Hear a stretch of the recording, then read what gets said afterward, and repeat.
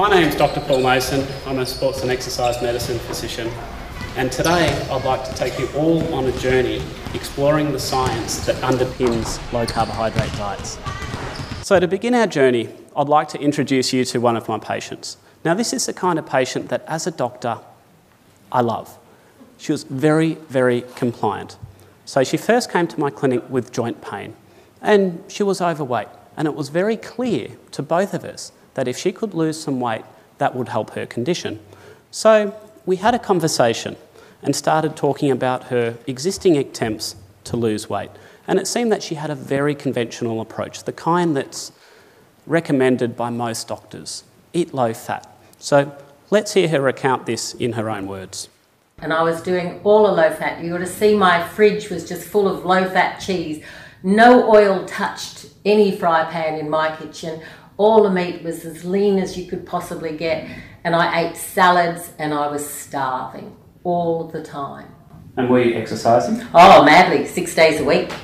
And I was doing those classes. I was doing back to back classes, so an hour HIIT classes followed by a pump class, and six days a week. So, and then I felt really guilty on the seventh day because I wasn't exercising. So, she was following the conventional advice. She was slavishly following that advice. She was exercising, she was eating low fat, but the trouble is, it was not working. At the time she saw me, she was 30 kilograms overweight and gaining. So, when I'm faced with this scenario as a doctor, I have to ask myself who is responsible? Who is to blame? So, the patient's following the medical advice that they've been given. So, is it the patient or is it the doctor or the medical professional who gave the advice? So I would argue the blame should actually lie with the doctor or the health professional.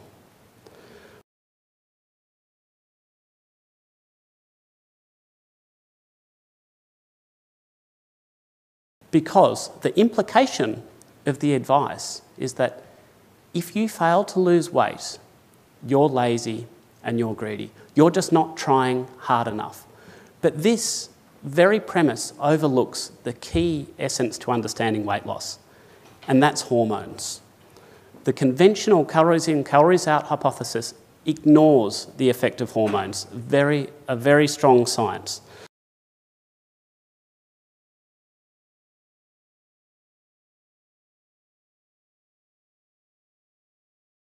So we've got a lady here, she's 35 years old. And she's got a problem with a hormone called cortisol. And she's just been gaining weight. And this is what happens when her hormone problem was treated. She didn't get given advice to exercise more. She didn't get told to eat less. We fixed the hormone problem and the weight problem goes away. This boy here, three years old, he weighs 42 kilograms, and he's got a problem with a hormone called leptin seven years old, he now weighs 10 kilograms lighter and a very healthy weight. See what happens when you fix the hormone problem?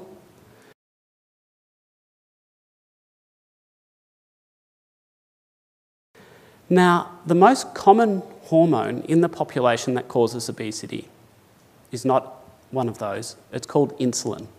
And this lady has a problem with insulin, but she's got a unique problem. She's got a tumour in her pancreas that secretes insulin and pumps it into her circulation. In this picture, she's 107 kilograms and she's only 152 centimetres tall. So she had an operation to remove the tumour, which lowered the insulin levels in her body. Now, these photos were taken 50 days apart. Her weight dropped to 89 kilograms. She lost 18 kilograms. And if we have a look at a graph of her weight loss, you can see that in a 10 day period, she lost 14 kilograms. So clearly, there's a problem here with insulin. It makes you fat.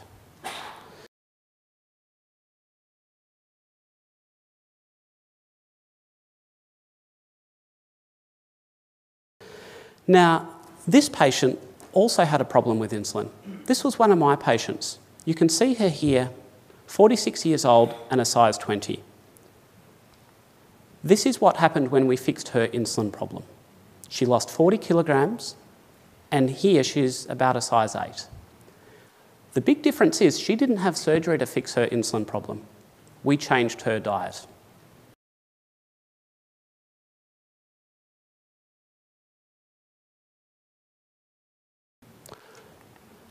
So you're probably asking, how on God's green earth can a diet lead to such dramatic changes in your insulin level that you'll lose that much weight?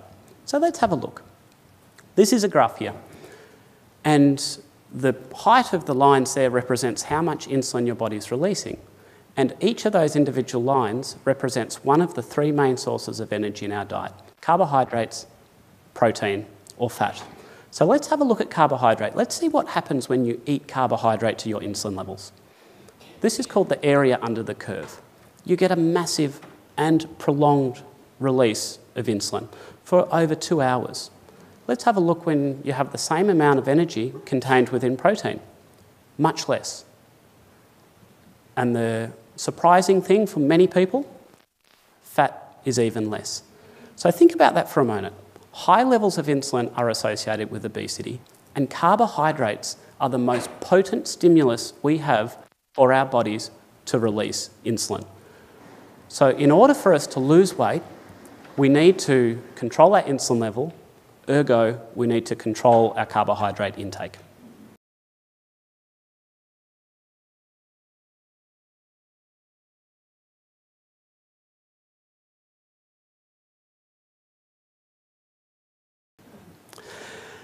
Now, we can broadly classify diets into one of two groups. On the left here, we have what's called low carbohydrate diets, and on the right, we have low fat diets, which tend to be high in carbohydrate because the energy has to come from somewhere. So let's have a look, an unbiased look at the evidence comparing these two types of diets in terms of weight loss. Between 2003 and 2018, there were 62 published randomised controlled trials comparing low carbohydrate diets less than 130 grams a day to low fat diets in terms of weight loss. 31 of these studies had statistically significant findings. What that means is that the results were not likely due to chance. You could probably trust them. So, what I've done here is I've graphed these 31 studies that had statistically significant findings no cherry picking here at all, and I've compared the average weight loss on the both diets. The low carbohydrate diet is depicted in blue, and the low fat diet is depicted in red. And you'll note that in every single one of these studies that we've got here, the low carbohydrate diet led to more weight loss than a low fat diet.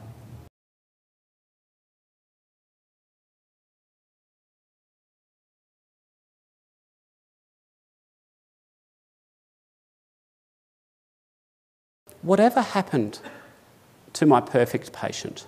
You know, the one who was slavishly following the low fat exercise advice before she saw me, was 30 kilograms overweight. Well, we had a discussion. She cut the carbs out of her diet and she increased the fat. And by doing that, she fixed her insulin problem. And then this happened. At last count, three years later, She's maintained a loss of 36 kilograms and she lost 28 centimetres off her waist. And these are her actual photos. You are not to blame for being overweight if you've been following bad advice. Critical.